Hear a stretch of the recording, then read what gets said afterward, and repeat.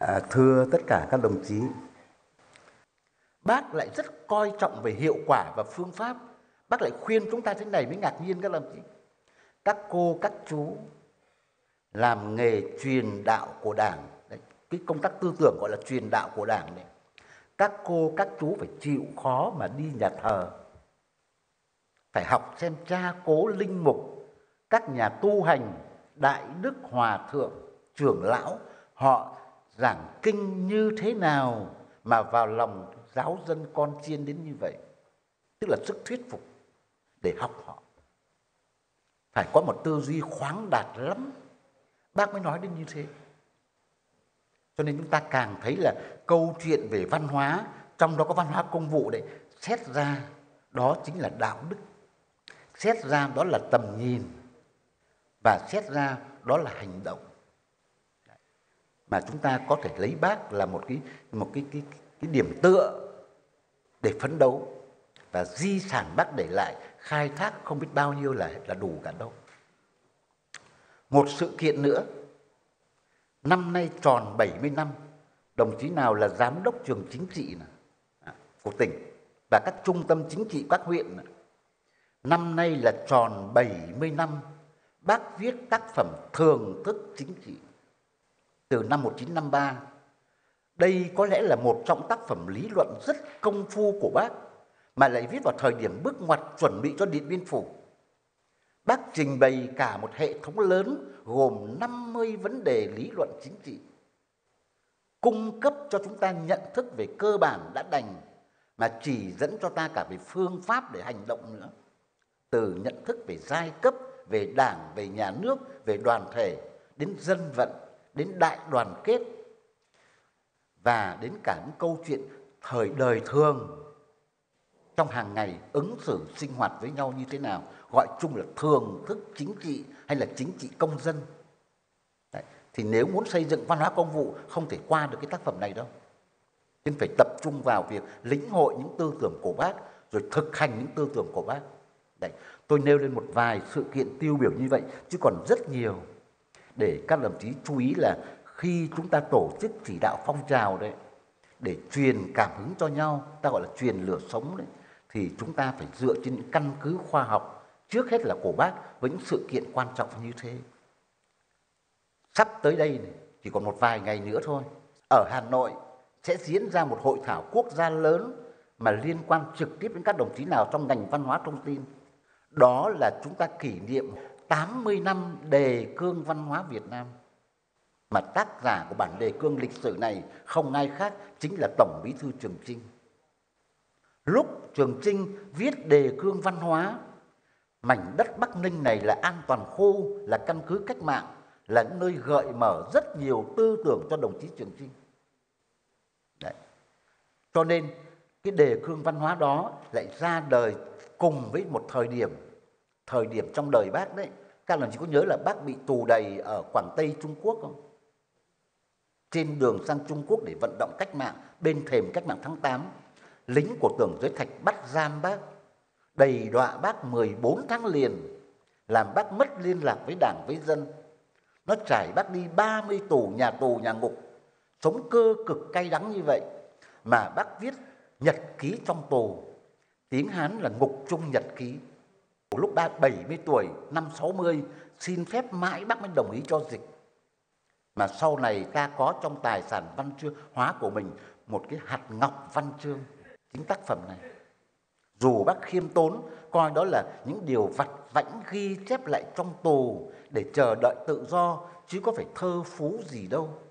Đấy là lời của bác, chứ đọc lên đúng là một tác phẩm văn chương, mà là cái cái tầm văn chương chính trị đó đề từ tác phẩm này bác viết là thân thể ở trong lao, tinh thần ở ngoài lao, muốn nên sự nghiệp lớn, tinh thần càng phải cao. Trong 133 bài thơ đó, có hai bài thơ vô cùng quan trọng giúp chúng ta nhận thức về văn hóa công vụ hay văn hóa nói chung. Các đồng chí có thể đọc lại nhé, ta đã học thời thời sinh viên, thời học sinh rồi, bây giờ nhắc lại thôi. Cái bài thứ nhất là bài nghe tiếng giã gạo của các đồng chí. Bác nói về rèn đạo đức cho cá nhân là đau đớn như giã gạo. Mà phải suốt đời cơ.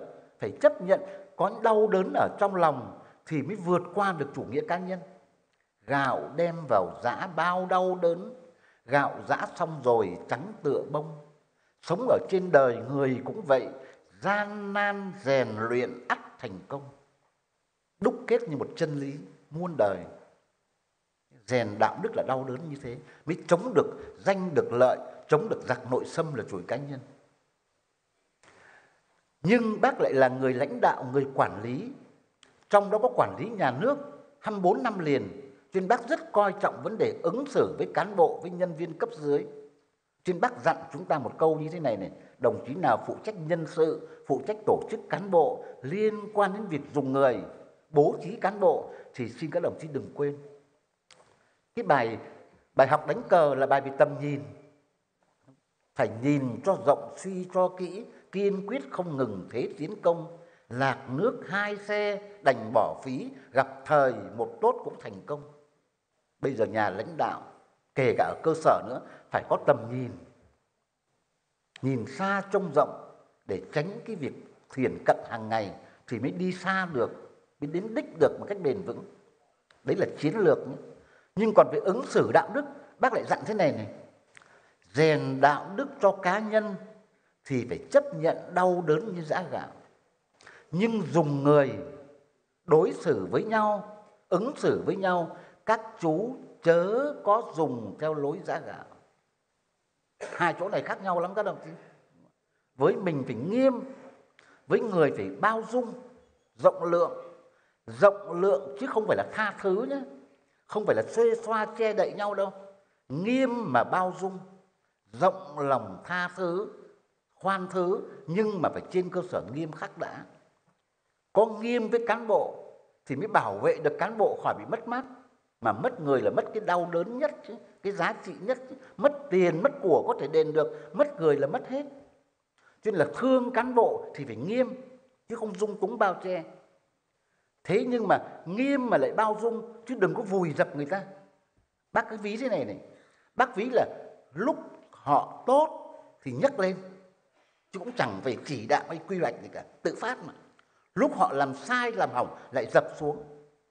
Cứ nhấc lên, đập xuống như thế ba lần thì tan nát cả một đời cán bộ. Nhưng các ông chí nhớ lời bác. Một con người mà trí tuệ thì thiên tài mà đạo đức thì cao cả như thế, văn hóa thì tinh tế như thế. Cho nên chúng ta có một hình mẫu để noi theo là thế đấy. từ việc nhỏ đến việc lớn, đồng chí nào làm văn phòng cả bên đảng và bên chính quyền nhé, tiếp tân, tiếp khách đấy, học bằng được bác cái tinh tế ân cần chu đáo. Ai lại thấy bác đang tiếp khách một nhà báo nước ngoài, thế lại bưng vào hai tách cà phê. Ý là để tiếp bác và ông khách của bác đấy bác cười, bác bảo cho bác thêm một tách nữa. Tạm cũng chưa hiểu. Bác chỉ vào đồng chí chụp ảnh, còn chú chụp ảnh nữa chứ. Các đồng chí thấy không? Sự tinh tế, ân cần, chu đáo. Việc lớn không không sai sót, việc nhỏ không bỏ qua là thế đấy. Bây giờ các cái nhân chứng lịch sử thời bác thì ta không thấy còn ai nữa, đi hết cả rồi nhất là dịp covid vừa qua ta mất nhiều nhiều nhân vật lịch sử nổi tiếng lắm đấy trong đó có một nghệ sĩ nổi tiếng mà đóng vai bác hồ đấy các đồng chí cũng mất cả rồi thư ký của bác không không còn ai cả Đến ông Phú Kỳ cũng về với bác rồi. Nhà văn Sơn Tùng nổi tiếng để cả đời viết về bác cũng đi trong dịp Covid vừa rồi. Mà cái Covid rồi là đau đớn lắm. Không Nhiều khi không tổ chức lễ tang đâu các đồng chí nhé. Cách ly hết mà. Chỉ còn họp cho, họp cho thôi. Thì bây giờ không còn ai cả. Nhưng may mắn làm sao ta lại tìm được một nhân chứng sống thời bác vẫn còn các đồng chí. Năm nay cụ đã trên 95 tuổi rồi. Cụ tên là Hoàng Phát Hiền, Cụ có 50 năm làm ở văn phòng Trung ương Đảng, cho nên cụ có nhiều tư liệu lắm. Cụ lại có vinh dự là được đồng chí Trường Trinh Tổng Bí Thư lựa chọn trực tiếp để làm người cắt tóc cho bác suốt 16 năm liền. Cho cả Trung ương nữa. Từ kháng chiến Việt Bắc đến sau này, sau Điện Biên Phủ, cụ vẫn còn sống. Cụ rất minh mẫn các đồng chí. Cụ còn có thể viết sách được cơ mà. Đồng chí nào ở công an thì có cái nhà xuất bản công an đấy đã in sách của cụ đấy những điều chưa biết về bác hồ cuốn sách ngắn thôi nhỏ thôi nhưng mà cảm động lắm ta tìm đọc nhé trong đó có cái mẩu chuyện như thế này này ông ấy được cử đi cắt tóc cho bác ông ấy xúc động lắm hồi hộp lắm vì cắt tóc cho lãnh tụ mà. Lần đầu tiên mà bác lại giản dị như thế không biết thế nào. Bác lại để dâu nữa, chứ chỉ sợ làm hỏng dâu của bác. Mà thời kháng chiến thì đồ lề dụng cụ có gì đâu. Có cái miếng vải dù để che cổ áo cho bác này. Cái lương, cái gương thì nó cũng không không còn sáng nữa. Cái lược, cái tông đơ, cái kéo có thế thôi. Bác lại rất là hồn nhiên. Bác bảo chú ra bờ suối cắt cho bác cho nó mát. Thế là hai bác cháu ra bờ suối. Ông phải gọi một ông bạn đi theo mà đứng trước để ra hiệu xem cắt như thế có được chưa? Bác biết mà. Bác bảo bác không cầu kỳ như các chú thanh niên đâu. Cứ cắt cao, bác mát, bác làm việc là được thôi. Thế lúc cắt tóc cho bác ấy, bác còn trò chuyện để chúng chúng ta bình tĩnh, thân ái, không bị xúc động, lúng túng mà. Bác hỏi câu này này. Thế chú có biết nước mình ai to nhất không? Bảo thưa bác bác là to nhất chứ ạ. Lúc đó bác là chủ tịch nước, chủ tịch chính phủ, chủ tịch đảng cơ mà bảo bác bác bảo đúng. Nhưng chú cũng to lắm đấy. Bảo thưa bác, cháu chỉ là thợ cắt tóc thôi bác ạ, có to gì đâu. Bác bảo không, chú to thật mà. Bác lãnh đạo đảng, lãnh đạo nhân dân thì bác to là đúng rồi. Như chú nói, mà đây là chú nói chứ bác không nói đâu, bác khiêm tốn lắm. Nhưng mà chú lại còn điều khiển bác thì chú cũng to chứ. Điều khiển bác là lúc cắt tóc cho bác nhé thì bảy bao bác quay trái, quay phải, ngẩng lên, nhấc xuống đấy thì đúng là điều khiển thật đấy. bác vui lắm là thế đấy, các chị. Để không có một khoảng cách nào giữa nhân viên và và người lãnh đạo cả. Đấy. cái đó cũng là điều mà văn hóa công chức phải tính đến đấy nhé. Văn hóa công vụ đấy. Nhất là đồng chí nào có trọng trách đứng đầu đứng đầu một tổ chức, đứng đầu một bộ máy, mà đảng cầm quyền thì người đứng đầu đảng ở một địa phương là một nhân vật trọng yếu. Đồng chí bí thư tỉnh ủy đây còn rất trẻ, mà lại rất mừng là đã từ thủ lĩnh thanh niên cho nên là sẽ quan tâm nhiều lắm đến phong trào thanh niên của tỉnh, các ông chí. Cả giáo dục nữa, thế đây điều rất đáng mừng. Bác nói là bác lãnh đạo dân thì bác to, nhưng mà chú điều khiển bác, chú cũng to. Đấy, thế thôi. Câu sau mới là đúng dụng ý của bác này. To hay nhỏ cũng tùy quan hệ chú ạ. À. tùy lúc, tùy việc chú ạ. À. chỉ có nhân dân mới là to nhất. Đấy, kính trọng lễ phép với dân là thế chỉ có dân mới là to nhất. Bác và chú đều là đầy tớ công bộc của dân thôi. Giao việc gì thì làm chọn việc đó.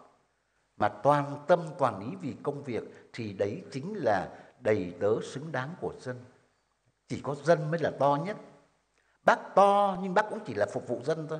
Chú to cũng chỉ là để phục vụ dân thôi. Mỗi người một việc từ chủ tịch nước đến nhân viên văn phòng nhân viên thường trực ai ai cũng công việc bổn phận làm tốt công việc của mình thì là xứng đáng. Thậm chí bác còn so sánh mạnh bạo là nhân viên mà làm việc tận tụy thì còn tốt hơn là người lãnh đạo mà không hoàn thành nhiệm vụ cơ mà. Nếu mà chính phủ không xứng đáng với dân nữa dân có quyền đuổi chính phủ đi cơ mà. Đuổi đây có nghĩa là bãi miễn bãi nhiệm đấy chứ không phải đuổi theo cái nghĩa thô tục hàng ngày đâu. Đấy, ta thấy là ta học bác được bao nhiêu điều xung quanh cái câu chuyện văn hóa công vụ này. Thì tôi mở đầu bằng sự kiện, bằng một vài nét như vậy để bây giờ chúng ta đi vào cái điểm rất quan trọng này. Thế bây giờ các đồng chí, đội ngũ chủ chốt của tỉnh đây, hôm nay hội nghị hôm nay tôi ý thức rằng rất là quan trọng.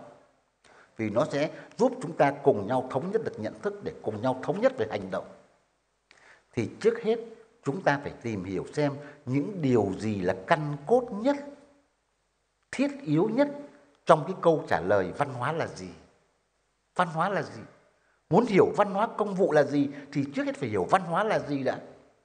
Tài liệu của tỉnh chúng ta soạn có thể nói là rất tốt đấy các đồng chí nhé. Chặt chẽ, logic và dẫn ra được nhiều điểm cần thiết lắm từ việc khai thác di sản Hồ Chí Minh để vận dụng vào thực tiễn. Các đồng chí chuẩn bị rất là chu đáo gửi trước cho chúng tôi đọc cái tài liệu này. Và tôi cảm thấy là có thể chia sẻ được với rất nhiều điểm với các đồng chí. Câu chuyện văn hóa là cả một vấn đề lớn, bàn cãi bao giờ cũng không dứt. Trên thế giới này đã có hiện tượng bùng nổ những định nghĩa về văn hóa đến mức mà từ 200 định nghĩa đến 400 định nghĩa đến 800 định nghĩa về văn hóa mà vẫn chưa hiểu văn hóa là gì. Đến mức là trong một hội thảo lớn của quốc tế, một học giả có uy tín phải nói lên một câu khuyến nghị như thế này này. Xin các vị hãy tạm dừng lại việc đưa thêm các định nghĩa. Vì đã có quá nhiều rồi. Để cùng nhau thảo luận, thống nhất một cách hiểu về văn hóa là gì. Đấy. Thế thì có thể nói là đấy, câu chuyện văn hóa nó rộng lớn thiêng liêng, gần gũi và đời sống hàng ngày ai cũng dùng những từ văn hóa, nhưng cuối cùng hỏi văn hóa là gì thì chúng ta lại chưa hiểu vừa rồi xử lý rất nhiều cái chuyện, đăng kiểm, các ông chí biết đấy tất cả đều là phản văn hóa hết đấy chứ. Phản văn hóa nó mới dẫn đến sai lạc như thế và bao nhiêu chuyện khác nữa. Thì có thể nói là từ khi có loài người là đã có văn hóa và con người là chủ nhân đích thực của những sáng tạo văn hóa. Nói văn hóa là nói đến con người. Mà con người vừa là sản xuất ra văn hóa vừa tiêu dùng văn hóa, cảm thụ văn hóa, lại dùng văn hóa để quản lý công việc từ khi có nhà nước. Đấy là tính tính chung của cả thế giới. Văn hóa gắn liền với lịch sử của con người và sẽ còn mãi. Ở đây, trong nước ta, có một học giả đã quá cố, mà khi còn sống đấy, đã nói một câu rất hay, câu nổi tiếng. Các đồng chí biết giáo sư vũ khiêu chứ? Nhà văn hóa vũ khiêu, học giả vũ khiêu chứ? Ông nói văn hóa là gì? Văn hóa là tất cả những cái gì mà chứng tỏ nhân tính tính người đấy, vượt lên trên thú tính, thì cái đó được gọi là văn hóa. Thú tính là bản năng, là tính của con vật. Nhân tính là bản chất đức tính của con người. Nhân tính mà thắng thú tính, thì cái đó là văn hóa. Chưa hẳn đã là một định nghĩa nhưng đấy là một triết lý có thể chia sẻ được. Cụ vũ khi là nổi tiếng vì viết câu đối, các ông chỉ biết cả, mà cũng rất là yêu quý bắc ninh của chúng ta đấy. Một cái vùng đất địa linh nhân kiệt lại xứ sở kinh bắc dân ca quan họ. Bác hồ trước khi mất chỉ muốn nghe một câu dân ca quan họ. Ta đưa diễn viên vào hát cho bác nghe, xúc động không hát được, chỉ khóc bác động viên mãi mới được một câu là người ơi người ở đừng về. Là như vậy. Thế thì văn hóa là thế đấy là nhân tính vượt lên trên thú tính. Và khi viết đề cương văn hóa đấy tổng bí thư trường trinh nghiền ngẫm vào ba cái đặc tính dân tộc khoa học và đại chúng. Rồi nó thành nguyên tắc là dân tộc hóa, khoa học hóa và đại chúng hóa để xây dựng nền văn hóa Việt Nam. Còn đặc biệt nữa đấy, chúng ta có thể tìm hiểu các danh ngôn của thế giới nói về văn hóa. Trong hàng trăm, hàng nghìn, hàng vạn câu nói hay về văn hóa gọi là danh ngôn thì tôi giới thiệu với các đồng chí ba cái mệnh đề quan trọng của ba nhân vật nổi tiếng về văn hóa. Câu thứ nhất là của nhà văn hóa lớn Ấn Độ tên là Nehru, bạn thân thiết của bác Hồ đấy nhé. Phát biểu trước Liên Hiệp Quốc cách đây hàng hơn nửa thế kỷ, Nehru định nghĩa về văn hóa một cách rất sâu sắc. Ông chủ yếu lấy về nghệ thuật giao tiếp, khả năng chinh phục. Văn hóa xét ra là một khả năng, khả năng làm cho người khác hiểu mình phải nỗ lực thế nào để người khác hiểu mình nhiều người rất tốt, nhưng mà ứng xử không khéo, làm cho mất lòng người khác thì cũng không hiểu mình. Là một khả năng nỗ lực làm cho người khác, tức là bên ngoài mình để hiểu mình. Đồng thời là một nỗ lực của chính mình để hiểu người khác, tức là quan hệ giữa chủ thể và đối tượng. Quan hệ giữa thế giới nội tâm và thế giới bên ngoài nội tâm. Ứng xử và giao tiếp một khả năng chinh phục, thuyết phục lẫn nhau, mà cái cốt lõi của nó phải là thành thật. Thành thật, chân thành, đó chính là con đường ngắn nhất để từ trái tim này đến trái tim khác, để hiểu biết lẫn nhau. Chỗ này rất cần cho chúng ta, đặc biệt các nhà văn hóa, các nhà giáo dục. Câu thứ hai là của một một học giả nổi tiếng của Xô Viết. Thời kỳ mà còn Liên Xô cơ, là Sukhomlinsky các nhà giáo thì biết rất rõ cái điều này. Ông là tác giả của một công trình nổi tiếng mà đã dịch ra tiếng Việt từ năm 70 cơ mà. giáo dục con người chân chính như thế nào. Và Sukhomlinsky đấy, giỏi đến mức là ông chưa viết xong luận án tiến sĩ để bảo vệ, đã được công nhận là viện sĩ Hàn Lâm rồi. Vì sáng phát minh ra rất nhiều lý thuyết hiện đại về giáo dục. Nhất là ông chủ trương giải phóng trẻ thơ ra khỏi bốn bức tường, học trong thiên nhiên để giáo dục những tâm hồn trong sáng như thế. Mà ông lại là một nhà giáo tận tâm đến mức này các đồng chí này, các nhà giáo Bắc Ninh của chúng ta sẽ nên học nhé. Ông dạy từ lớp 1 đến lớp 12. Theo cách gọi bây giờ là trung học đấy. Mỗi học trò ông làm cho một cuốn nhật ký ghi chép cả cuộc đời đó. Có ai mà tâm huyết đến như vậy các đồng chí? Và khi ông mất đấy, ông để lại hai người con, một trai một gái mà. Một người là nhà vật lý, một người là nhà ngôn ngữ. Mà đám tang của ông đấy, từ phòng mổ trong bệnh viện đến nơi an táng trên đồi cao là dợp bóng người. Vì tất cả thế hệ ông bà cha mẹ con cháu của cái vùng quê đó đều là học trò của ông cả. Ông là hiện thân của con người chân chính. Là biểu tượng của chủ nghĩa nhân văn, tức là thương người, yêu con người. Thì ông nói thế này này, văn hóa xét đến cùng là một khả năng. Khả năng biết nhìn thấy người bên cạnh tức là không có vô cảm không có vô tình không có lạnh nhạt biết nhìn thấy người bên cạnh không phải con mắt sinh học đâu mà là con mắt từ từ trong trái tim này biết thương yêu biết động lòng chắc ẩn biết nhìn thấy người khác nhìn thấy người bên cạnh chia sẻ hoàn cảnh sống số phận của họ biết đau nỗi đau của họ thì đấy chính là văn hóa đấy và câu câu thứ ba là của một viện sĩ Hàn Lâm Liên Xô thời còn Liên Xô tên là Ly Khachov Ông lại tập trung nói về dân chủ. Văn hóa là gì? Văn hóa là biết lắng nghe. Biết lắng nghe nhau, không bài bác, không đối địch và không vội vàng quy kết để biết nghe được cái lẽ phải hợp lý dù nhỏ nhất. Đấy là một thứ văn hóa, một bản lĩnh văn hóa. Bây giờ Đảng ta đã tiến đến nhận thức là văn hóa xét đến cùng đấy.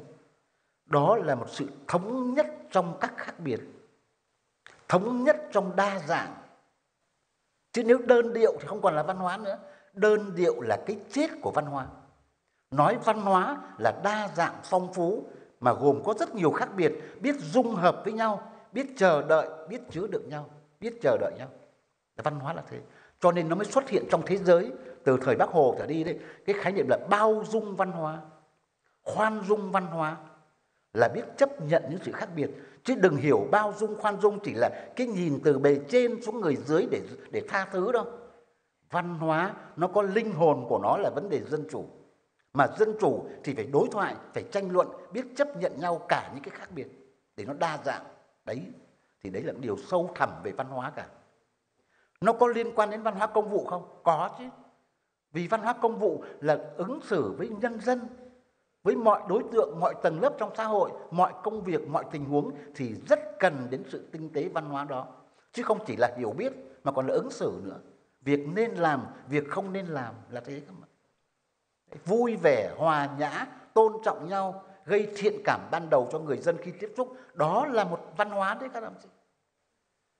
Chứ tiếp xúc để người ta khó chịu thì không còn là văn hóa nữa. Thì đấy những điều đó là rất sâu sắc nhé khi mà đảng ta ra nghị quyết báo hiệu báo động cái tình trạng vô cảm dừng dưng với nhau nó làm sự suy đồi đạo đức có cả trong đảng và trong dân thì tôi mới sực nhớ đến cái điều này các đồng chí này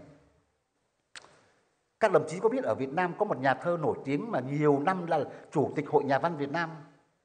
Bây giờ anh nghỉ rồi, hữu thình thì các đồng chí. Đại biểu ờ, đại hội đảng cao tuổi nhất của cái khóa 11 anh nghỉ rồi. Anh ấy viết cái bài thơ, đầu đề có một chữ thôi. Chữ hỏi này không? Hoặc câu hỏi. Câu hỏi dằn vặt trong lương tâm này. Mà bài thơ đó là một tín hiệu cảnh tỉnh cho chúng ta về sự suy đồi văn hóa đánh mất nhân tính. Tôi hỏi đất đất sống với đất như thế nào? Chúng tôi làm đầy nhau, đổ chúng nó đầy lên. Tôi hỏi nước Nước sống với nước như thế nào?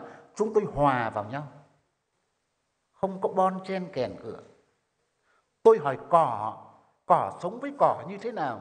Chúng tôi xen vào nhau xanh tới tận chân trời câu thơ nguyễn du đấy, cỏ non xanh tận chân trời. Bây giờ tôi hỏi người người sống với người như thế nào? Người sống với người như thế nào? Cuối cùng vẫn là người sống với người như thế nào? Lặng im, không có câu trả lời. Tức là vô cảm.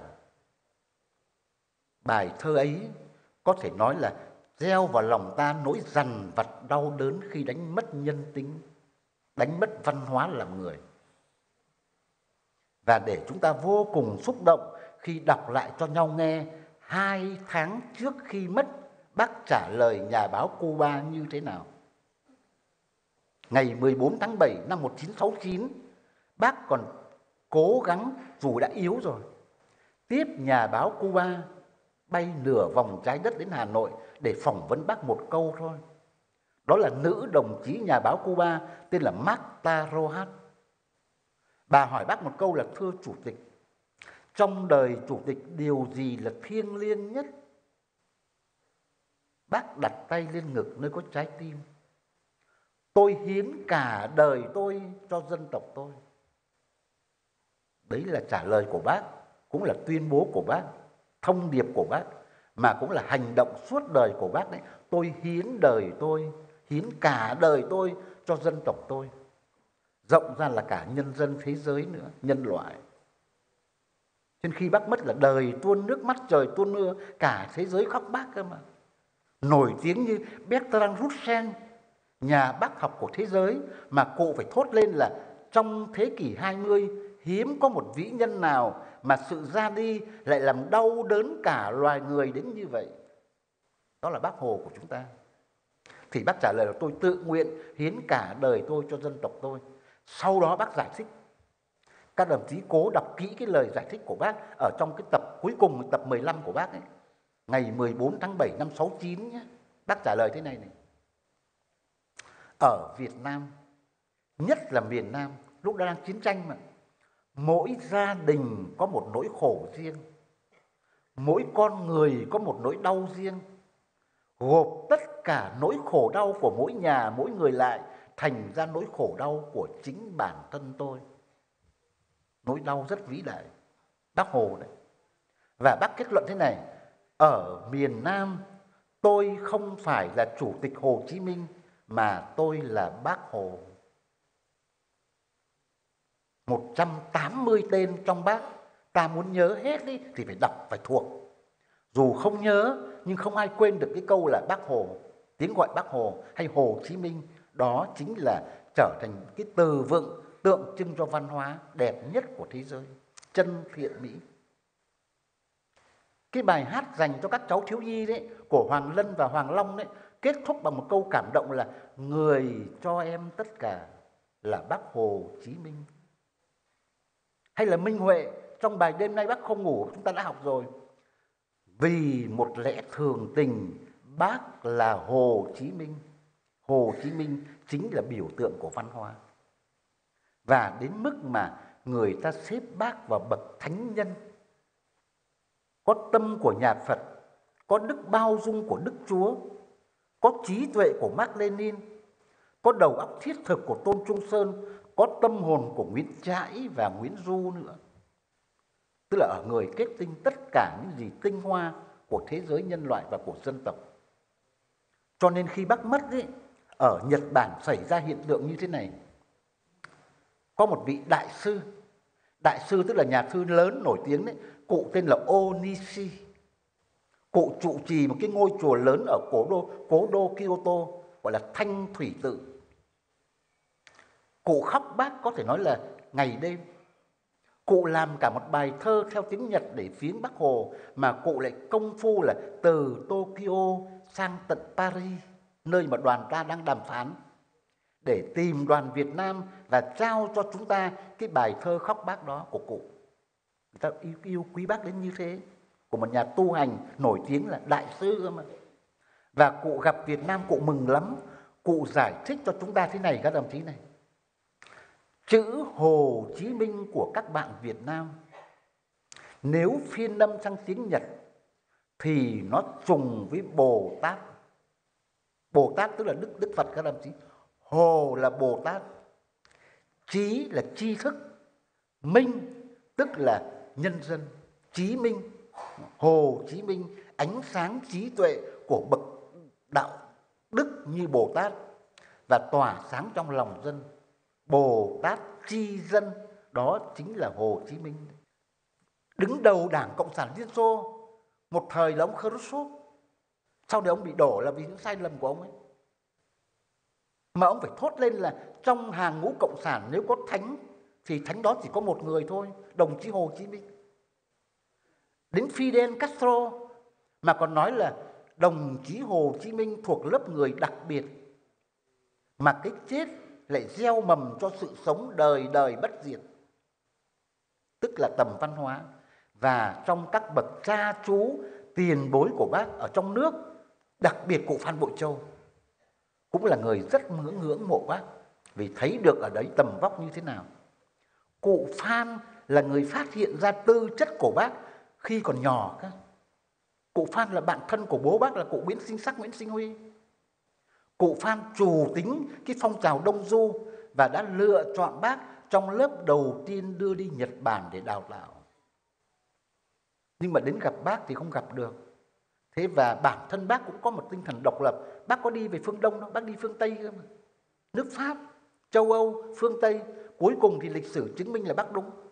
Trên cụ Phan đấy, cả một đời thất bại, dù không thiếu dũng khí và tâm huyết, trí tuệ. Mà cụ phải thốt lên thế này các đồng chí này. Cụ thốt lên là nếu Nam Đàn có thánh thì thánh đó là Nguyễn Ái Quốc chứ không phải là tôi. Thế là vừa khiêm tốn mà vừa đánh giá cao cái bậc hậu thế chính là Bác Hồ. Đồng chí nào đã về đến huyện Vĩnh Bảo, Hải Phòng, quê hương của trạng trình Nguyễn Bình Khiêm đấy. Ta tìm đọc những cái cuốn sách công bố gần đây về Nguyễn Bình Khiêm nhé. Bậc bậc thầy về tiên tri mà. Tiên tri hàng suốt mấy thế kỷ. Thế tại sao trong trong câu chuyện của trạng trình Nguyễn Bình Khiêm lại có câu viết về bác Hồ như thế này mà cách xa nhau hàng mấy trăm năm? Nguyễn, Nguyễn đây tôi gọi là Nguyễn Ái Quốc. Nguyễn sinh côn, Nguyễn sinh cung thời nhỏ. Nguyễn đi rồi Nguyễn lại về. Thì các đồng chí ở Sở Văn hóa Hải Phòng có giải thích cho tôi biết là đi tức là đi tìm đường cứu nước. Về là về nước sau cuộc hành trình 30 năm làm nên sự nghiệp cách mạng tháng 8. Nguyễn đi lại Nguyễn lại về trong tâm thức của Nguyễn Bình Khiêm, trạng trình Nguyễn Bình Khiêm cách chúng ta năm, sáu trăm năm mà đã đã đã đưa ra những lời dự báo như vậy. Dĩ nhiên, đây có thể nhìn từ cảm quan văn hóa thì có thể chia sẻ. Chứ còn về đứng về khoa học đấy, thì ta chưa chứng minh được vấn đề khoa học tâm linh. Cho nên ta tôn trọng và ta gìn giữ những cái điều đó. Nhưng để nói một điều là ảnh hưởng của bác hồ rất lớn. Và văn hóa, công vụ mà chúng ta phấn đấu rèn luyện, xây dựng không có gì khác, chính là học cách quản lý học cách ứng xử với dân học tinh thần trách nhiệm học đạo đức công vụ kỷ luật công chức của bác hồ với tư cách là một công dân công chức rồi lành lãnh tụ bác trải qua tất cả các cái cấp độ đó đấy là những điều chúng ta cũng cần nói với nhau thế bây giờ để hiểu sâu thêm về văn hóa công vụ thì xin các đồng chí chú ý cho điều này này. Trong tài liệu cũng đã có rồi đấy. Nhưng là đấy tôi tôi nói rõ hơn về mặt lý thuyết, lý luận. Nói văn hóa là ta phải trả lời được ba cách tiếp cận. Kể cả văn hóa công vụ nữa. Tiếp cận như thế nào để nó ra văn hóa? Và những cách tiếp cận đó nó phải xuất phát từ tiền đề nào? Tiền đề tức là cái yêu cầu đầu tiên bắt buộc phải có để mới giải quyết được cái bài toán về sau này. Xin các đồng chí nhớ cho điều này rất thực tế này. Trên thực tế hiện nay, đến bây giờ ta vẫn bị nhầm lẫn. Một là nhầm lẫn giữa học vấn và văn hóa. Nó có liên hệ máu thịt với nhau, là tiền đề điều kiện của nhau, nhưng không tự động trở thành nhau đâu. Văn, học vấn là điều kiện tiền đề của văn hóa, chứ không tự động trở thành văn hóa. Không đồng nhất học vấn với văn hóa. Cái đồng nhất này sẽ là một sai lầm bởi vì nó gặp ngay cái cái cái điều vấp phải trong thực tiễn mà không giải quyết được. Thế tại sao có người mà học vấn rất cao, trong túi mấy bằng cử nhân tiến sĩ trong tôi mà lại không không phải văn hóa? Bằng chứng rõ nhất là gì các đồng chí? Mà Bắc Ninh này là nơi binh minh chứng rõ nhất này các đồng chí. Vùng đất cổ truyền, kinh Bắc này. Các bà mẹ Việt Nam truyền thống có biết chữ đâu? Tức là không có, không học vấn nhé mù chữ mà hậu quả của chính sách ngu dân, của thực dân đế quốc mù chữ, cả đời không ra khỏi lũy tre làng. Mà sao các cụ lại thuộc lòng chuyện kiều, thuộc lòng ca dao cổ tích để du con du cháu? Trong khi các bà mẹ trẻ của chúng ta bây giờ mấy bằng tiến sĩ trong tay mà không hề biết du con, thế vậy thì học vấn có phải là văn hóa đâu? Và giữa văn hóa học vấn có đồng nhất với nhau đâu? Hội Liên hiệp Phụ nữ Việt Nam đã có thời kỳ phải phát động một cái cuộc thi, cuộc vận động là lời du tiếng hát cho các bà mẹ trẻ cơ mà. Trẻ nhỏ mà thiếu lời du của mẹ sau này lệch lạc lắm về nhân cách đấy. Thế cho nên cái nhiệm vụ của chúng ta là không đồng nhất học vấn với văn hóa.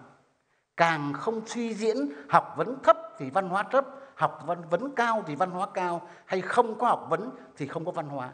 Đấy là một suy diễn sai lầm. Thực tế nó không chấp nhận đâu. Thực tế cho thấy là văn học vấn thấp mà vẫn có văn hóa. Mà học vấn cao chưa hẳn đã có văn hóa. Mà đây là ta nói học vấn lành mạnh đấy nhé. Học vấn đích thực đấy, chứ không phải học giả đâu. Đấy. Thì nó lại càng càng xa lạ nữa. Và vì thế đấy phải thừa nhận là muốn xây dựng văn hóa phải bắt đầu chăm lo từ học vấn. Đấy là điều kiện cần chứ không phải điều kiện đủ. Có học vấn rồi phải tiếp tục nâng cao nữa, học suốt đời và đồng thời phải nỗ lực chuyển từ học vấn thành văn hóa. Đấy mới là điều quan trọng. Văn hóa ngoài hiểu biết lý trí ra nó còn có kinh nghiệm thực tiễn cuộc sống, tức là vốn sống. Bác Hồ là một kho tàng về vốn sống. Bác trải nghiệm phong phú như thế cơ mà. Và nhất là những trải nghiệm sống trực tiếp của cá nhân. Chứ nó phải không qua khâu thực hành văn hóa là thế. Đấy. Thì mới thành văn hóa được. Thế đấy là một nhé. Thứ hai, nói học, nói văn hóa thì chúng ta còn có một tiền đề thứ hai nữa là phải phân biệt đạo đức với nhân cách. Phân biệt học vấn với văn hóa chưa đủ, phải phân biệt đạo đức với nhân cách. Vì trong thực tế ta hay đồng nhất đạo đức là nhân cách. Không phải. Đạo đức là cốt lõi của nhân cách chứ chưa đủ để có nhân cách. Muốn có nhân cách phải có trí tuệ, có tài năng, có khả năng sáng tạo nữa, có cống hiến bằng hành động nữa. Chứ đạo đức không chưa thành nhân cách. Và vì vậy, đạo đức muốn thành nhân cách đấy, nó phải gắn liền với năng lực, không tách rời. Ta thì hay tách rời, đức là một đằng, tài là một đằng. Có khi lại đề cao đức mà xem nhẹ tài. Có khi lại tuyệt đối hóa đạo đức, chỉ thấy đạo đức là chính trị thôi. Nhất là cái thời kỳ mà tư duy giáo điều nó còn thống trị, chỉ thấy chính trị là là đạo đức mà chính trị là thành phần giai cấp. Bây giờ cái tư duy đó nó xa rồi, nó vượt qua rồi. Đạo đức là gốc, là cái lõi của nhân cách, nhưng phải được bồi thêm về trí tuệ nữa, thành năng lực nữa thì mới có nhân cách được. Riêng đạo đức không đủ. Chưa kể là đây là đạo đức hành động, chứ không phải đạo đức để tu dưỡng tâm tính cho riêng mình đâu. Không phải chỉ bằng thiết lý là tu thân tề gia bình trị thiên hạ đâu, mà phải hành động vào dân, lợi ích công cộng, cộng đồng xã hội, rộng hơn là cả thế giới. Tôi nói rộng hơn thế giới là là cần thiết đấy các đồng chí nhé. Bây giờ không chỉ là công dân trong nước nữa. Đồng chí nào là bí thư tỉnh đoàn, thủ lĩnh thanh niên này, Bây giờ phải chuẩn bị cho thanh niên tuổi trẻ chúng ta sẵn sàng tâm thế để đón nhận vai trò công dân toàn cầu. Vượt ra khỏi phạm vi quốc gia, thành công dân toàn cầu trong kỷ nguyên số như thế này. Thế cho nên càng cần đến năng lực. Nên đạo đức gắn với năng lực mới là nhân cách. Bác không nói cầu kỳ chúng ta về chữ nghĩa. Bác nói giản dị mà ai cũng hiểu được, nhưng mà sâu sắc lắm. Đức là gốc, tài là quan trọng. Có đức phải có tài, có tài phải có đức. Có đức mà không có tài làm việc gì cũng khó, có khi hỏng việc. Còn có tài mà không có đức thì nguy hiểm. Vì có thể làm điều xấu, điều ác một cách có tính toán thì cái tổn hại còn lớn hơn rất nhiều. Đấy. Thế thì ai cũng hiểu hết các ông chị là như vậy. Và với Hồ Chí Minh đấy, đúng với tư duy biện chứng của người đấy, thì đức nhập trong tài. Tài là biểu hiện của đức. Nó là một, hai nhưng mà là một, không tách rời nhau. Chỗ này là chỗ chúng ta vận dụng không đúng. Nên để lại hậu quả bây giờ là một gánh nặng phải giải quyết đau đớn lắm. Tại sao mà chúng ta cứ kêu là chỗ nào cũng thiếu người? Đấy là thiếu người tài giỏi, chuyên gia. Chỗ nào cũng thừa người, tức là thừa cái người không làm việc được, không biết để đi đâu. Hậu quả của vấn đề dùng người không đúng. Bởi vì ta đã có thời kỳ đưa ra thế này các đồng chí này. Ưu tiên đạo đức, chiếu cố năng lực. Thế là tuyển về toàn những người ngồi không thôi, không làm việc được cái gì cả. Cứ đụng vào việc là hỏng việc rồi. Thì cái đạo đức này cũng không có nghĩa gì. Vì có nghĩa phải là đạo đức hành động có hiệu quả cơ. Đấy. Thì để các đồng chí lưu ý là phải nhận thức văn hóa từ những tiền đề đó và phân biệt cho nó đúng đạo đức với nhân cách, học vấn với văn hóa. Để từ đó chúng ta nói đến vấn đề sáng tạo